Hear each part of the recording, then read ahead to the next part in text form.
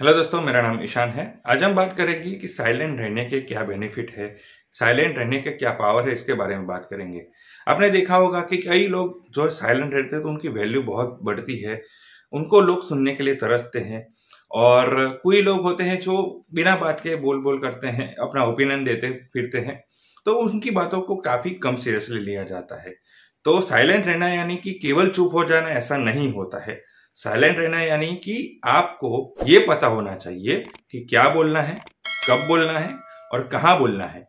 इसे भी साइलेंट रहना कहा जाता है क्योंकि बिना वजह शब्दों का इस्तेमाल ना करे और जहाँ ज़रूरत है, वहाँ शब्दों का इस्तेमाल करे तो इसका पावर ही कुछ अलग होता है। तो पहले बेनिफिट के बारे में बात करते हैं तो पीपल का अटेंडेंस आपको मिलता है, आपको लोग सुनना पसंद करते हैं, आपको, आपकी राय की वैल्यू आपकी जो आप बोलते हैं, उसका जो वैल्यू बढ़ जाता है। जैसे कि कोई टॉपिक चल रहा होता है और सब डिस्कस कर रहे होते हैं तो कई बार कुछ लोग होते हैं जो ओवर अपनी राय देते फिरते हैं ज़्यादा बोल बोल करते हैं। तो कुछ लोग उनको सीरियसली नहीं लेते, काफ़ी लोग उनको सीरियसली नहीं लेते। लेकिन उसी वक्त आपने देखा होगा कि जो साइलेंट होगा, जो कम बोलता होगा तो वो लोग उनसे पूछते हैं कि आपके इस बारे में क्या ख्याल है, आप क्या सोचते हैं बारे में, आपकी राय क्या है? तो अगर आप साइलेंट रहते हैं, कम बोलते हैं इससे ये होता है कि लोग आपको सुनना पसंद करते हैं, लोग आपकी राय की वैल्यू बढ़ाते हैं, लोग आप आप जो कहते हैं उसका वज़न पड़ता है तो साइलेंट रहने से लोगों का अटेंडेंस ज़्यादा मिलता है। साइलेंट रहने के दूसरे बेनिफिट के बारे में बात करें तो अगर आप साइलेंट रहते हैं, कम बोलते हैं तो ये आपको किसी भी चीज़ में नेगोशिएट करने में काफ़ी हेल्पफुल रहता है। जैसे कि अगर कोई आप डील साइन कर रहे हैं या डील कर रहे हैं तो उस वक्त आप नेगोशिएट कर रहे हैं, लेकिन कुछ वक्त के लिए अगर आप साइलेंट हो जाते हैं तो सामने वाला ये समझ नहीं पाता है कि आपने यस कहा है कि नो कहा है। आप क्या चाहते हैं? आप एक्सेप्ट कर रहे हैं, नहीं कर रहे हैं, या अभी आप नेगोशिएट कर रहे हैं? तो वो बाद में आपको और ऑफ़र देना शुरू कर देता है। वो यानी कि आप जो एक्सपेक्ट करते हैं, उससे भी कम जो है प्राइस में आपको वो मिल सकती है, आपको ज़्यादा बेनिफिट मिल सकता है। क्योंकि सामने वाले को ये लगता है कि ये साइलेंट हो गया है तो अब ये सोच क्या आ रहा है। वही सोच सोच कर वो सामने वाला आपको बेटर ऑफ़र दे सकता है। तो नेगोशिएशन के टाइम पे भी अगर आप थोड़े टाइम के लिए साइलेंट हो जाते तो वो काफ़ी बेनिफिट रहता है। तीसरा बेनिफिट है कि बिल्ड ट्रस्ट करने में भी साइलेंस बहुत हेल्पफुल रहता है। अगर आप साइलेंट रहते हैं तो सामने वाले व्यक्ति का ट्रस्ट आपके ऊपर ज़्यादा होता है। जैसे एग्ज़ाम्पल के तौर पे आपको मैं बताऊँ कि अगर किसी भी व्यक्ति से जब आप रिलेशन में हो, जाते हैं या किसी भी व्यक्ति के साथ चाहे रिलेशन में आते हैं तो वो व्यक्ति कुछ बोलता है, वो अपनी बात रखता है। तो जब आप साइलेंट होकर केवल सुनते हैं, बोलते कम है, सुनते ज़्यादा है तो उसको अच्छा लगता है। किसी भी व्यक्ति को हमेशा ये अच्छा लगता है कि उसकी बात को कोई गौर से सुने। अगर आप साइलेंट रहते हैं, कम बोलते हैं और सुनते हैं।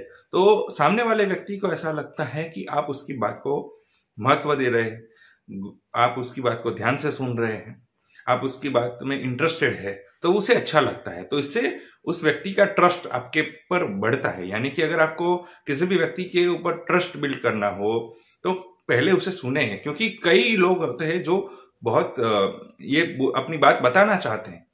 लेकिन सामने वाला भी फिर बोले जा रहा है, वो भी बोले जा रहा है तो फिर ट्रस्ट बिल्ड नहीं हो पाता है। लेकिन अगर आप उनकी बातों को ध्यान से सुनते हैं, शांति से सुनते हैं, कम बोलते हैं तो उसको लगता है कि आपको उसकी वैल्यू है और उसका ट्रस्ट आपके तरफ़ बढ़ता है। चौथा बेनिफिट है कि साइलेंट रहने से काफ़ी सवालों के जवाब आपको मिल जाते हैं। जैसे कि कई बार आप किसी मुश्किल में होते हैं या कोई सी उलझन में होते हैं तो अक्सर कुछ लोग ऐसे होते हैं कि खुद सवाल करते हैं, किसी से राय मांगते हैं, फिर अपने ही फिर सवाल से खत्म होने के बाद वो ऑप्शंस देना शुरू करते हैं कि यार, जैसे कि मैंने ये क्वेश्चन है मेरा तो क्या मैं ये करूँ, क्या मैं वो करूँ? ये तो अपनी सवाल ही खुद बोलते हैं, जवाब भी खुद ही बोलते रहते हैं। तो इससे क्या होता है कि अगर उनको इतना पता होता, जवाब मिल गया होता तो ये सवाल रहता ही नहीं। तो कभी भी किसी से राय मांगो, सवाल पूछो तो सवाल पूछने के बाद साइलेंट हो जाओ, रुक जाओ। पहले उसकी राय देखो, उससे जवाब मांगो। तो आपको जवाब मिलेगा क्योंकि उसे बोलने का मौका दोगे तो ही मिलेगा ना? तो कई बार क्या होता है कि हमारे दिमाग में कुछ आइडियाज़ नहीं आते, सामने वाले दिमाग में आते हैं। तो आप उसे सवाल पूछ के साइलेंट रहोगे, सुनोगे उसे तो आपको और आंसर मिलने का जो है प्रोबेबिलिटी बढ़ जाता है। यानी कि सवालों का जवाब भी आप आसानी से पता लगा सकते हैं कई बार, जो हमारे समझ शक्ति के बाहर होते हैं तो दूसरे को जब हम पूछते हैं और सुनते हैं तो वहाँ से भी आंसर मिलता है। साइलेंट हो जाने से साइलेंट रहने से भी काफ़ी सवालों के जवाब भी मिल जाते हैं। और पांचवा बेनिफिट है कि सॉफ्टवेयर है साइलेंट साइलेंट में कई बार क्या होता है कि हर बार आप झगड़ के, लड़ाई करके ही जीत जाएँगे, ऐसा नहीं होता है। कई बार साइलेंट रहने से भी काफ़ी लड़ाई आप जीत जाते हैं, काफ़ी कंपटीशन आप जीत जाते हैं। क्योंकि सामने वाले को पता ही नहीं चलता है कि आप एक्चुअल में करना क्या चाहते हैं। सामने वाला आपको जज नहीं कर पाता है। कई बार क्या होता है कि आप जब साइलेंट रहते हैं तो सामने वाले को आपकी स्ट्रेटेजी के बारे में ही पता नहीं चलता है।